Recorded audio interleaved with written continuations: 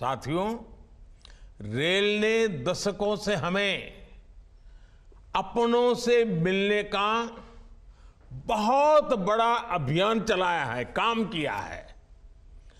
एक प्रकार से देश को जोड़ने का भी काम किया है। अब ये हमारी ज़िम्मेदारी है कि हम रेल को एक बेहतर पहचान और आधुनिक भविष्य से जोड़े। और रेल की रक्षा, व्यवस्थाओं की रक्षा, सुविधाओं की रक्षा, स्वच्छता की रक्षा, एक नागरिक के नाते उस कर्तव्य को हमें निभाना अमृत काल कर्तव्य काल भी है। लेकिन साथियों, कुछ बातें जब हम देखते हैं तो मन को पीड़ा भी होती है। दुर्भाग्य से हमारे देश में विपक्ष का एक धड़ा आज भी पुराने ढरे पर चल रहा है। वो आज भी खुद तो कुछ करेंगे नहीं और किसी को करने भी न देंगे। न काम करेंगे, न करने देंगे। ये रवैये पर अड़े हुए हैं। देश ने आज की और भविष्य की जरूरतों की चिंता करते हुए संसद की आधुनिक इमारत बनवाई।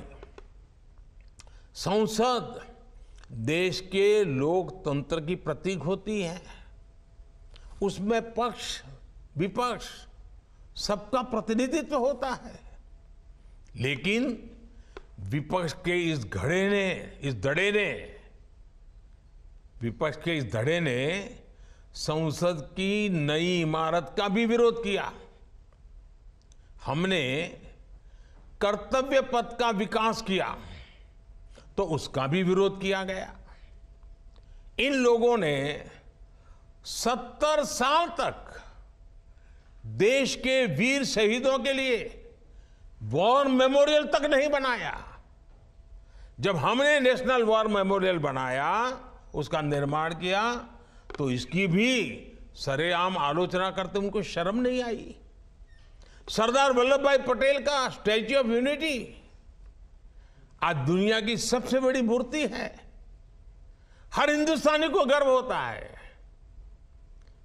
और कुछ राजनीतिक दल चुनाव के समय तो सरदार साहब को याद कर लेते हैं।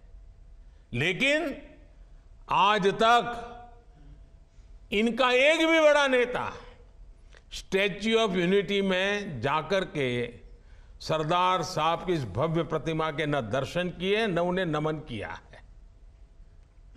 लेकिन साथियों, हमने देश के विकास को इस सकारात्मक राजनीति से आगे बढ़ाने का फैसला किया है। और इसलिए नकारात्मक राजनीति से ऊपर उठकर सकारात्मक राजनीति के मार्ग पर एक मिशन के रूप में हम चल रहे हैं। किस राज्य में किसकी सरकार है? कहाँ किसका वोट बैंक है? इस सबसे ऊपर उठकर हम पूरे देश में विकास को सर्वोच्च प्राथमिकता दे रहे हैं।